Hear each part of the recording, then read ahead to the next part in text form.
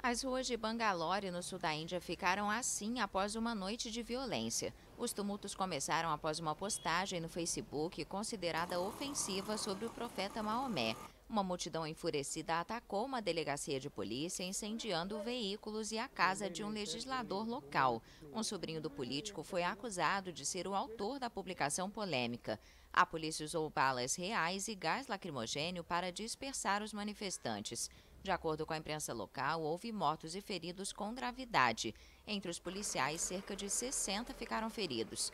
O chefe da polícia de Bangalore anunciou que o sobrinho do legislador havia sido preso, assim como uma centena de moradores acusados de participar da revolta.